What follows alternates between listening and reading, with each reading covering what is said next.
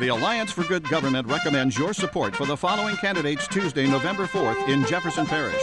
School Board Member District 8, Marion Coach Bonura.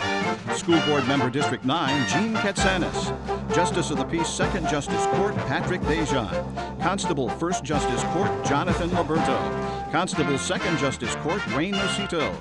Constable, 5th Justice Court, Dan Savello. Visit AllianceForGoodGovernment.org for your ballot and please vote November 4th.